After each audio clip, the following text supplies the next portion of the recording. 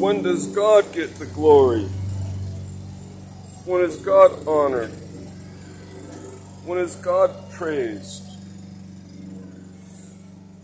When is God respected? When is He praiseworthy and uh, at least for His goodness and for who He is? He's our Creator.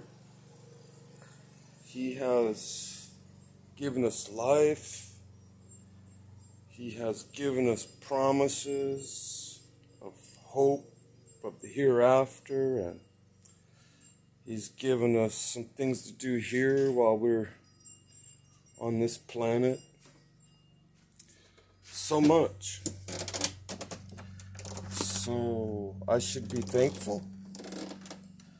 I should be uh, thankful. I should be full of goodness and righteousness.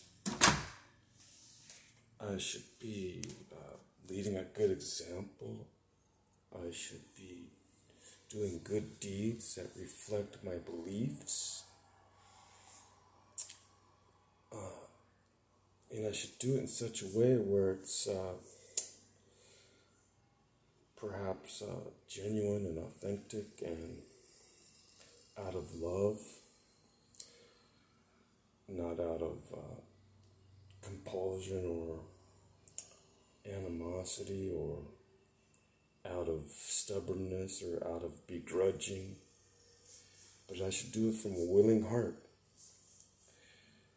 from because I'm thankful and I'm happy and I'm I have the peace of God in my in my heart, in my mind, in my soul.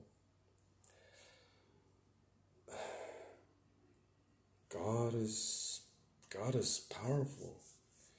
God is wonderful. God is love. God is love, the Bible says. God is God is love. And uh, so I should have that love too. Shouldn't I have that love? If God is love, shouldn't I be shouldn't I be loving and compassionate and merciful?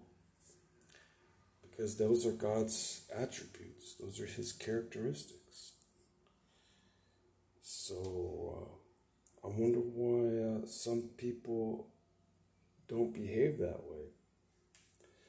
Some people are angry, full of anger and bitterness and, and hatred, and uh, they're not uh, exhibiting those those those characteristics. Um, I wonder why. Uh, they talk about there being a devil that has something to do with it, an adversary of God and an adversary of God's creation.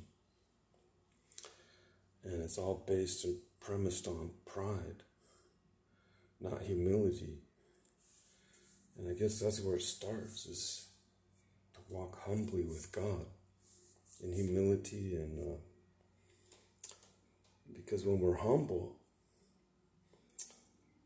it's uh, an act of reverence towards our master, towards our creator.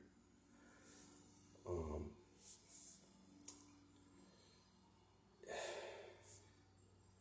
it's not, you know, it's not the kind that you see in historically when people worship false gods. Uh, that was kind of a brutal and harsh, and uh, people were compelled to bring homage to pay homage to God. People were compelled to bring their sacrifices. And they did it, a lot of people, I'm sure, they did it under heavy burden, under heavy load. So it was it wasn't pleasurable. It wasn't something that was it was something they had to do. It was not something that they wanted to do. And I believe the true God, the creator,